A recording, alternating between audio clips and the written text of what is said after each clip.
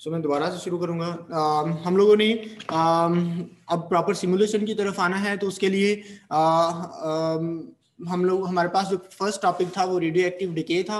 आ, उससे रेलिवेंट हम लोगों ने एक प्रोग्राम बना लिया जिसका नाम रेडियो एक्टिव डिके था। इसके ऊपर हम लोग एक बटन लेके आ जाएँगे ताकि उसके अंदर रेडियो एक्टिव डिके की जो इम्प्लीमेंटेशन है उसको डिस्कस कर सकें। सो मेक श्योर कि जो मैं बातें आप लोगों के सामने डिस्कस करूँगा वो बिल्कुल जेनेरिक होंगी अपार्ट फ्रॉम दिस प्रॉब्लम जब भी आप लोगों के पास कोई प्रॉब्लम होगी फिजिक्स की या किसी भी साइंस की आपके पास अगर उसकी डिफरेंशियल इक्वेशन आ जाती है इस तरह से तो उस डिफरेंशियल इक्वेशन को आप उसके फाइनल आइडेंटिटी फॉर्म कुछ इस, इस फॉर्म में लिख सकते हैं। ये मैंने डायरेक्ट कर दिया है। आ, ये सिंपली जब दूसरी पे यहाँ पे आपके पास NO5 plus 1 minus NO5 divided by dV दूसरी साइड पे जाके मल्टीप्लाई हो जाएगा। तो Ni दूसरी साइड पे जाके ऐड हो जाएगा instead of subtraction so final form आपके पास कुछ ये वाली आ जाएगी। अब हम पहले तो सिस्टम को समझ लेते हैं फिर उसके बाद हम लोग इसकी इम्प्लीमेंटेशन की तरफ़ आएँगे अगर आप लोग गौर करें तो ये वाला जो फैक्टर है, वो कंटिन्यूसली इस फैक्टर में से रिड्यूस हो रहा है। ठीक है? तो इट्स मीन इसका बिहेवियर क्या होगा? रिड्यूसिंग होगा। इसका बिहेवियर क्या होगा? रिड्यूसिंग होगा। हम लोगों को यहाँ से सिस्टम को अंडरस्टैंडिंग नहीं होनी चाहिए कि जो मैं इंप्लीमेंट कर रहा हूँ, उसका बिहेवियर पॉसिबली किस टाइप का होगा। ठीक है? तो सो अकॉर्डिंग टू दिस अगर सपोज़ करें कि इस पैरामीटर में से ये वाला पैरामीटर माइनस हो रहा है what our this variables are चाहे उसमें ये भी क्यों ना इन्वॉल्व हो। इसमें से ये माइनस हो रहा है तो इसका मतलब जब मैंने इसको स्टार्ट में जो वैल्यू देनी है, वो इतनी पहले बड़ी वैल्यू होगी तो उसमें से क्या होगा? रिड्यूस होता जाएगा। अगर मैं ज़ीरो रखूँगा तो ऑलरेडी क्या होगा? अपार्ट फ्रॉम प्रॉब्लम के रेडियो एक्टिव डिके के अंदर हमने क्या करना है? मैं एज जनरल आपको एक्सप्लेन कर रहा हूँ कि डिफरेंशिएशन के अंदर आपको क्या करना पड़ेगा। जब आपके पास इस तरह का पैटर्न है सपोज़ करें कि यहाँ पे इस पैरामीटर में से ये वाली वैल्यू क्या आ रही है? कंटीन्यूअसली माइनस हो रही है। तो इसका मतलब है इनिशियल इसको आपने वैल्यू क्या देनी है? लार्ज देनी है ताकि उसमें से ये फैक्टर माइनस होते हुए वो अपना पैटर्न आपको सही तरह से शो करवा दे। अब सपोज़ करें कि आप यहाँ पे ज़ीरो रखवा देते हैं। तो ज़ीरो माइनस होके वो सारा ग्राफ किस साइड पे चला जाएगा?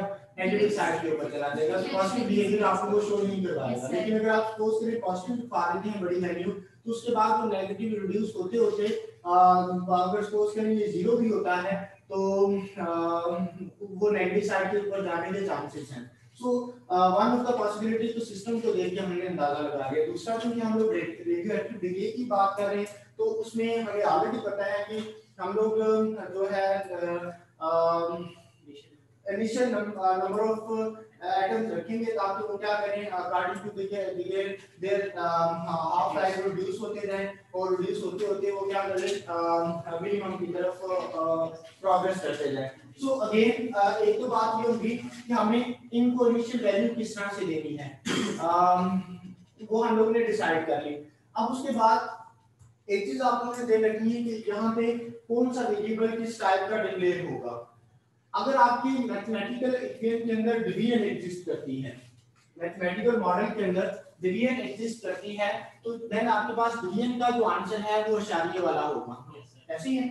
तो जहाँ पे आपके मैथमेटिकल मॉडल के अंदर डिवीज़न एग्जिस्ट करती है तो आप अशारिये वाली वैल्यू को स्लोप करवाने के लिए डबल डेटा टाइप को कंसीडर करेंगे ठीक है फ्लोट भी कर सकते हैं लेकिन क्योंकि अब दफ़ा ऐसा होता है कि यहाँ पे देखें ट्रिग्नोमेट्रिक फ़ंक्शन नहीं है। साइन कॉस टेन की जो आउटपुट होती है वो डबल टाइप की होती है।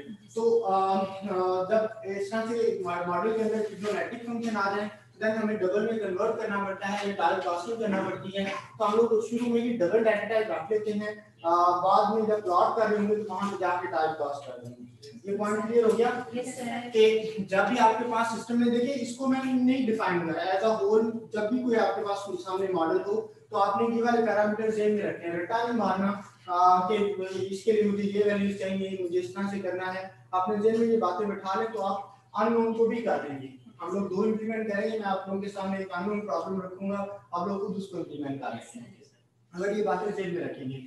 सो सो डाटा टाइप किस तरह due to division data type किस तरह की हो जाएगी डबल डाटा टाइप हो जाएगी। अब उसके बाद नेक्स्ट स्टेप के अंदर अपने सिस्टम के अंदर देखें टोटल नंबर ऑफ़ वेरिएबल्स कितने हैं जिनको मुझे डिक्लेयर करवाना है। टोटल नंबर ऑफ़ वेरिएबल्स कितने हैं? आप बताएँ दो है। कौन कौन से? N I O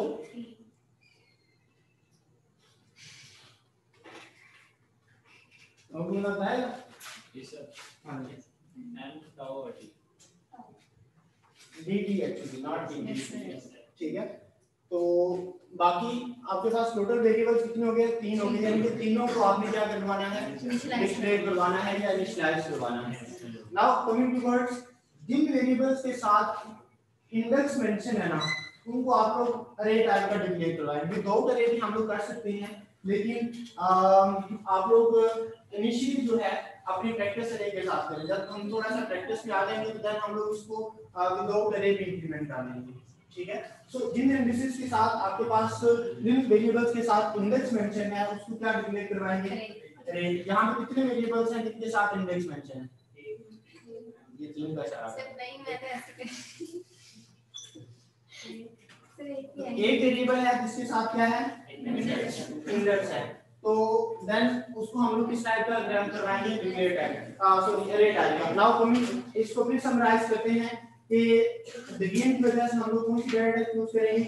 डबल और टोटल वेरिएबल्स कितने आपके पास? तीन वेरिएबल्स हैं। और जिस जिनके साथ इंडेक्स है वो आपके पास एक वेरिएबल है और उसको किस टाइप का डिक्लेयर करवाएँगे? अरे। टाइप का डिक्लेयर करवाएँगे। सो अब हम लोग इसकी इंप्लीमेंटेशन की तरफ़ आते हैं।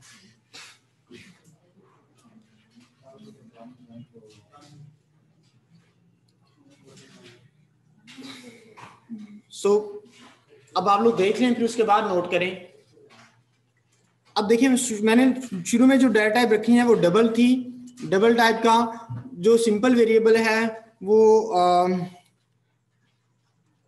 टाओ है उसको मैं इस तरह से लिख लेता हूँ। ठीक है? या जो भी आप लोग स्पेलिंग रखना चाहें। टी ए रख लो जो उससे मीनिंग उसके ज़ाहिर होने चाहिए। इसकी नॉर्मली वैल्यू क्या होती है? वन होती है या फिर आ, कुछ भी आप डिके कांस्टेंट की वैल्यू बुक के ऊपर जो ग्राफ दिया हुआ है ग्राफ की डिस्क्रिप्शन में अगर जाएँगे तो वहाँ पे भी आ, डिटेल दी होगी। जो मैंने आपको लेक्चर पढ़ाया था वीडियो लेक्चर उसमें अगर आप उस ग्राफ के नीचे डिस्क्रिप्शन में जाएँ तो वहाँ पे टाउ की वैल्यू मेंशन की होगी। ठीक है? वीडियो लेक्चर के अंदर। सो एनी हो सपोज़ करें मैं वन या टू टू सपोज़ करने रख देता हूँ। ठीक है? नेक्स्ट मुझे सिमिलरली डी की वैल्यू भी रखनी है। डीटी जो है, वो आपके पास स्टेप साइज़ है। कोशिश करनी चाहिए, ये जो स्टेप साइज़ होते हैं, इनकी जो वैल्यू है, वो स्मॉल से स्मॉल रखी जाए। उसकी वजह क्या है कि बार ऐसा होता है कि आप जब बड़े बड़े स्टेप्स ले रहे होते हैं तो उस प्रॉब्लम का जो सॉल्यूशन अगर दरमियान में किसी जगह रह जाए तो वो मिस हो जाता है। एक्यूरेसी के चांसेस जो है, वो कम होते जाते हैं। But definitely in this case आपके पास बीटी की वैल्यू मैटर नहीं करेगी। ठीक है? वो जो जहाँ पे मैटर करेगी वो मैं आपको प्रॉब्लम्स में डिज़ाइन कर दूँगा तो यहाँ पे डीटी की वैल्यू जो है वो मैटर करेगी। सो so, यहाँ पे आके डीटी की वैल्यू हाँ जी। सपोज़ करें ज़ीरो पॉइंट वन रख दें या ज़ीरो पॉइंट ज़ीरो वन रख दें आपको एक नंबर दे दें। ठीक है? अब नेक्स्ट जो है हम लोगों ने अरे टाइप का डिक्लेयर करवाना है एन को और रे टाइप का उसकी भी डाटा टाइप क्या होगी? डबल अब सपोज़ करें अब आपके पास एक इंडेक्स है। आई कोमा जे नहीं है या जे आई जे कोमा के नहीं है। तो अब आपके पास एक इंडेक्स है तो इसका मतलब वन डायमेंशनल अरे होगी। एक इंडेक्स है तो किस कितनी वन डायमेंशनल अरे होगी। सो so, यहाँ पे मैं वन डायमेंशनल अरे के लिए N is equal to new double और यहाँ पे मैं अब उसका साइज़ पास कर दूँगा। साइज़ सपोज़ करें आप कितना रखें hundred two hundred three hundred it's up to you ये इसको हम लोग बाद में according to our simulation check भी कर सकेंगे। अगर एक खास जगह से इंक्रीज कर रहा है तो हम इस वैल्यू को कम भी कर देंगे। सपोज़ मैं उसको रख देता हूँ, यहाँ पे हंड्रेड रख देता हूँ। ठीक है? ना जो हम लोगों ने, मैंने आप लोगों को एक इनिशियल वैल्यू की बात की थी। यहाँ पे देखें अगर मैं सपोज़ करें कि एज इट इज़ रहने देता हूँ तो वो इस एन रे की तमाम वैल्यूज़ को ज़ीरो से इनिशियलाइज करवा देगा सी शार्प की वजह से।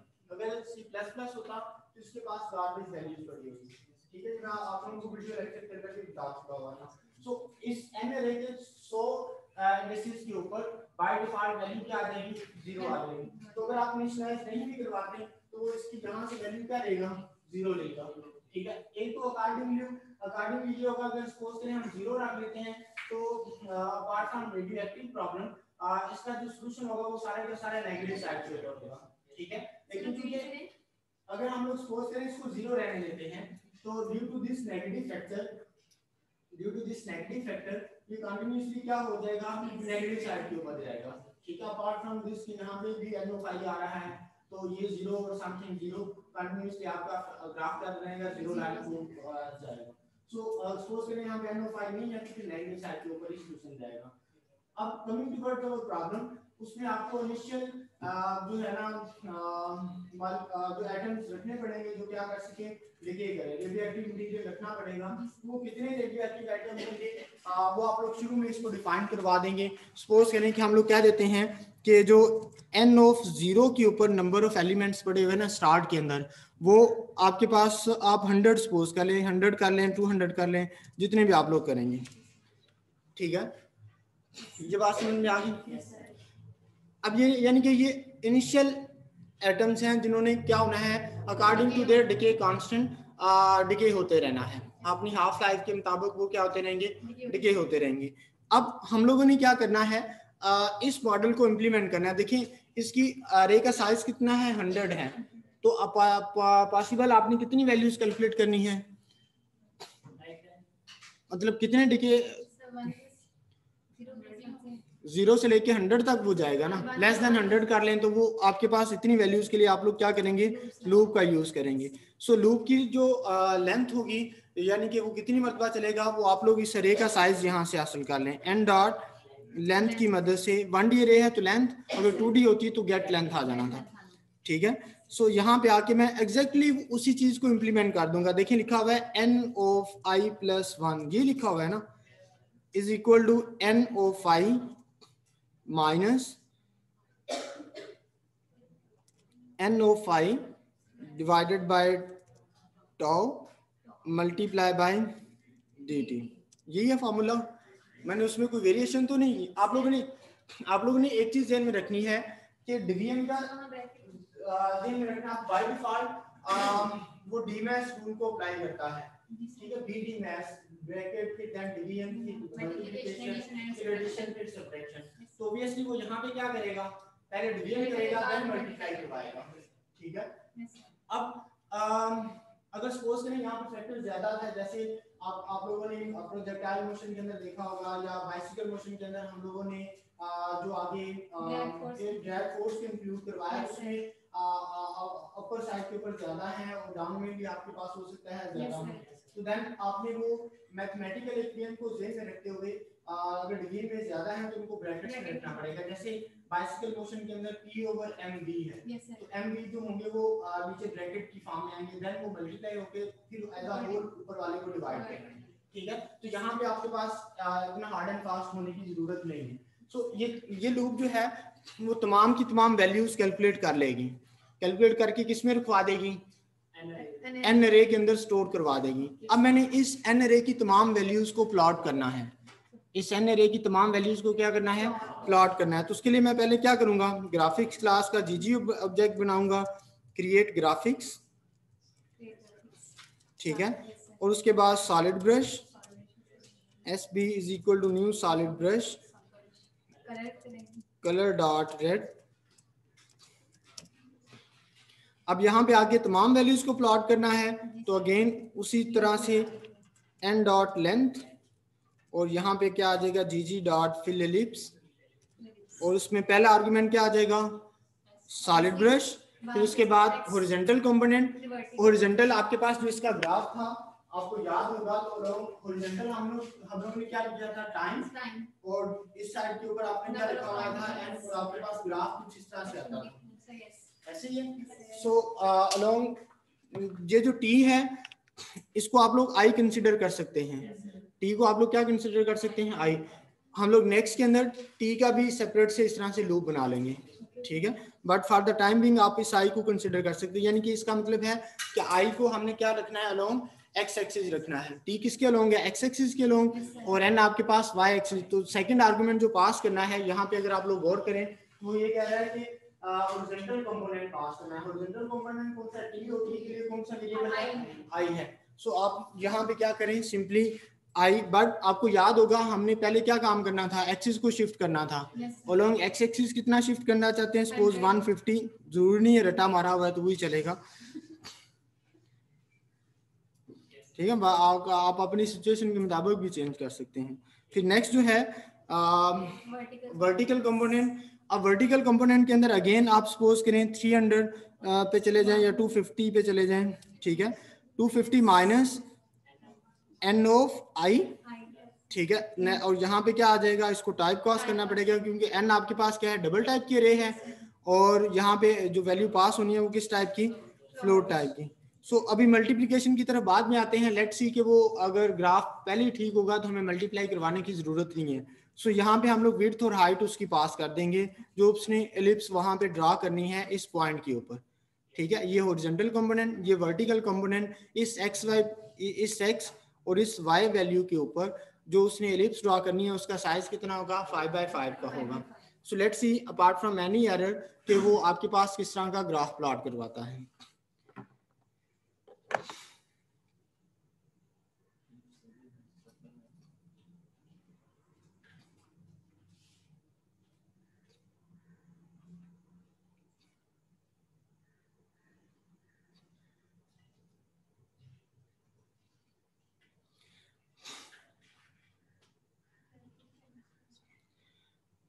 अच्छा वो कह रहे हैं कि index was outside the bounds of array एक एरर आ रही है। चलिए अच्छा हुआ, ये सबके सामने डिस्कस हो गया। यहाँ पे एरर आ रही है। Index was outside the bounds of array अब यहाँ पे आप लोग गौर करें अरे का साइज़ कितना है?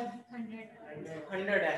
जब अरे का साइज़ आपके पास सपोज़ करें अरे का साइज़ आपके पास अगर वो आप यहाँ पे डिक्लेयर करवाते हैं एक्स या मैं सी प्लस प्लस लैंग्वेज में चला जाता हूँ फाइव तो इस सेट्स को जो मेमोरी एलोकेट करती होती है वो इस तरह से zero one two three four यानी कि टोटल पाँच वैल्यूज़ होती हैं। और इंडेक्स कहाँ से कहाँ जा रहा होता है? ज़ीरो से लेके फोर तक। जा रहा होता है। ऐसे ही होता है। अब हमारे पास साइज़ कितना है? हंड्रेड है। सपोज़ करें इंटीजर वाई हंड्रेड है। और जो इंडेक्स है वो कहाँ से कहाँ तक जाएगा? Zero one two and so कहाँ तक जाएगा? 99 तक, उससे पहले 98 होगा। ऐसे ही है? अब जब हम लोग यहाँ पे एंड डॉट लेंथ कितना है? 100 है। एंड डॉट लेंथ कितना है? सुनिए ना एंड डॉट लेंथ तो 100 है। तो आखिरी मरतबा जब वो इसके अंदर आएगा तो आई की वैल्यू क्या होगी? 99 होगी। 99 के लिए वो अंदर आएगा 100 के लिए वो अंदर नहीं आएगा। ऐसी है? यस सर अब 99 के लिए जैसे ही वो अंदर आएगा तो 99 प्लस 1 क्या हो जाएगा? 100 100 तो इंडेक्स तो एग्जिस्ट ही नहीं करता। तो इस वजह से वो आपको एरर क्या दे रहा है? Index outside the bounds of array यानी कि आपका जो इंडेक्स है वो अरे की बाउंड्री से बाहर चला गया है। इस एरर की समझ आ गई? ये कंटिन्यूसली आपके पास सामने एरर आएगी। जब भी आपके सामने एरर आए उसको एटलीस्ट पढ़ ले। वहाँ से आपको आइडिया हो जाएगा कि आपकी एरर क्या आ रही है। चले बाय डिफ़ॉल्ट अगर एरर आ भी गई है तो उसका फ़ायदा ये हो गया कि आपको पता चल गया कि एरर क्या क्या। मैं दोबारा से फिर एक्सप्लेन कर देता हूँ। 100 साइज़ है तो इंडेक्स कहाँ तक जाना चाहिए था? तो 99 तक ही जाता है लेकिन यहाँ पे i प्लस वन की वजह से वो क्या कर रहा है? 99 प्लस 1 100 हो जाता है। तो 100 इंडेक्स उसका एग्जिस्ट नहीं करता तो उस वजह से वो आपको एरर देता है। तो आप इसके लिए क्या करना पड़ेगा? N dot length minus 1 n dot length minus 1 यानी कि उसको हम लोग क्या करेंगे? N डॉट लेंथ माइनस 1 मतलब 100 साइज़ था तो यहाँ पे 99 के अंदर आएगा लेकिन माइनस 1 क्या होगा? तो 98 के अंदर आएगा 99 के लिए अंदर नहीं आएगा। 98 के लिए जब अंदर आएगा बेसिकली वो किसकी कैलकुलेशन कर रहा होगा? 90 90 जब i की वैल्यू 0 है तो किसकी कैलकुलेशन कर रहा है? ठीक है? जब i की वैल्यू 2 है तो वो 3 की कैलकुलेशन कर रहा है। एंड सो सो जब स्टार्ट होगा मतलब जब ये पहली लेंथ इसकी तो फिर उसकी वैल्यू पे क्या इफ़ेक्ट होगा बट सपोज़ करें i की वैल्यू 0 है मैं यहाँ पे लिख देता हूँ। I की वैल्यू 0 वो यहाँ से करके इधर आया तो 0 जो है वो यहाँ पे n की वैल्यू कितनी है? 100 है? ठीक है फॉर टाइम वो कंडीशन ट्रू हो गई तो ट्रू के केस में वो अंदर आएगा यहाँ पे एन ऑफ़ वन कैलकुलेट करेगा। ज़ीरो प्लस वन क्या हो जाएगा? वन तो उसके बाद N of zero N of zero के ऊपर हमने क्या लिखवाया हुआ है टू हंड्रेड तो बेसिकली यहाँ पे क्या लिखा आएगा टू हंड्रेड फिर उसके बाद माइनस का सिंबल था। माइनस फिर उसके बाद एन ऑफ़ ज़ीरो ओवर तो मल्टीप्लाई डी तो इसकी जगह बेसिकली क्या आ जाएगा? 200 डिवाइडेड बाय 2 मल्टीप्लाई बाय 0.1 ठीक है? तो इसको सॉल्व करने के बाद n1 कैलकुलेट कर लेगा।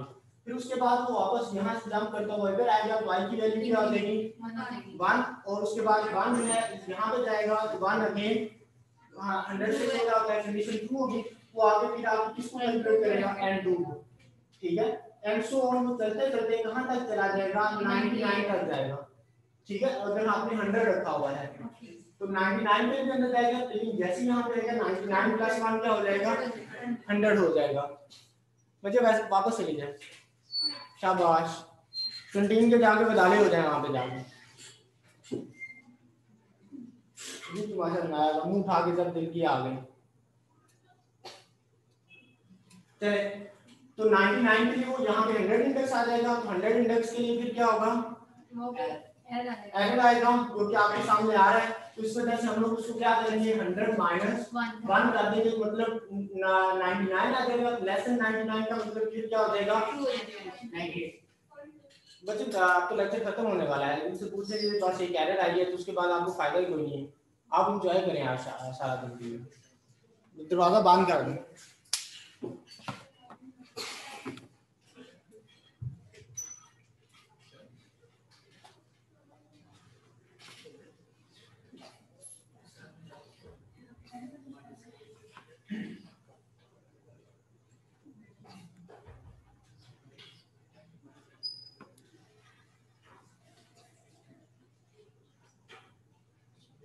अभी उसको एरर को तो रिमूव ही नहीं किया।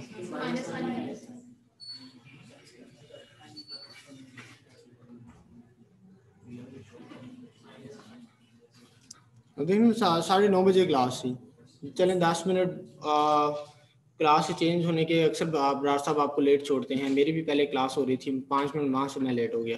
बरार साहब भी ने भी लेट छोड़ा। तो दस मिनट, पंद्रह मिनट, बीस मिनट, दस बज के अठारह मिनट हो रहे हैं। और मुँह उठा के आ गए हैं। फिर उसके बाद पता क्या होता है? आके सर ये चीज़ नहीं समझ आई। वो या तो आते ही फिर दो चार जो साथ बैठे थे उनको बातें में लगाए रखेंगे मुझे भी समझाओ या उनको बताएँगे मैं चिप्स का पैकेट खा के आई हूँ बड़े गंदे चिप्स मिल रहे थे। मतलब यही बातें होती है ना क्लास में। मैं भी यहीं से उठ के गया हूँ।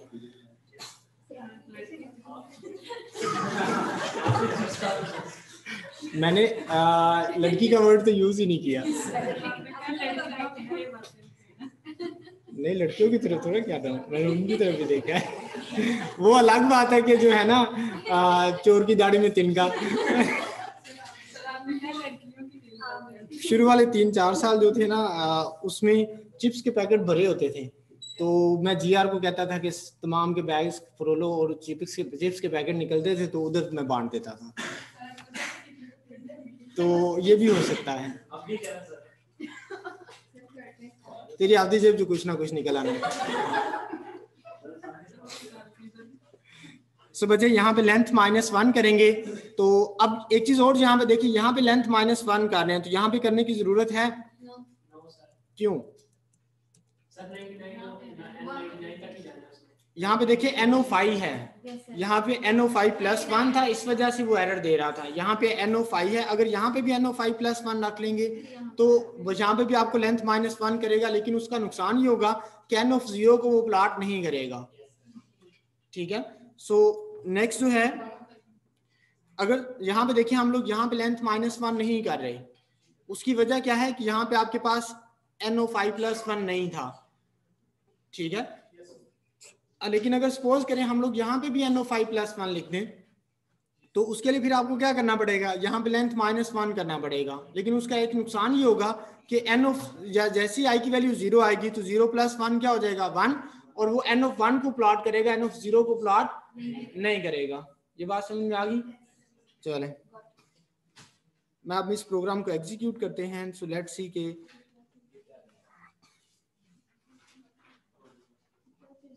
ठीक है?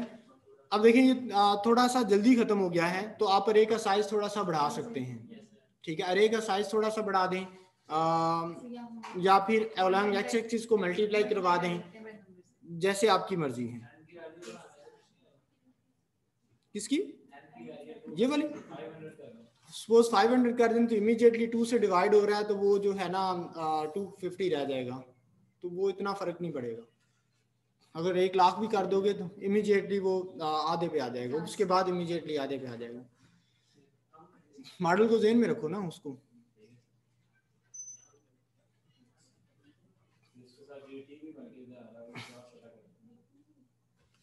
चले, अब क्या करना, क्या था? अरे साइज़ को थोड़ा सा, देखिए, मैं यहाँ पे सपोज़ करें कि मैं यहाँ पे सिर्फ़ 200 करता हूँ। देखिए, नीचे वाला जो कोड होगा, वो ऑटोमेटिकली चेंज हो जाएगा। ऑटोमेटिकली नीचे जाके मुझे चेंज करने की ज़रूरत नहीं पड़ेगी। सो अगेन एग्जीक्यूट करें।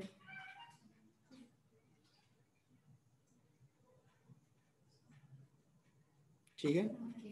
तो एक रीजनेबल सा आपके सामने ग्राफ आ गया है।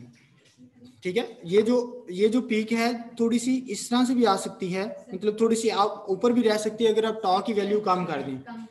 ठीक है टॉ की वैल्यू कम करेंगे तो वो थोड़ा सा जो पीक है वो ज़्यादा कर्व हो जाएगी एज कंपेयर टू दिस कि वो डीप कर्व में जा रहा है। ये बात समझ में आ गई?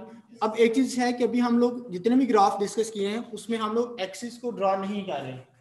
ठीक है तो एक्सिस का ड्रॉ जो है मैं आप लोगों को जो लास्ट लेक्चर होगा बिफोर द एग्ज़ाम उसमें करवा दूँगा लेकिन ऑन द टाइम भी आप इतने से ही काम चलाएँ। बच्चे चीज़ें समझ आ गई हैं कि नहीं आई?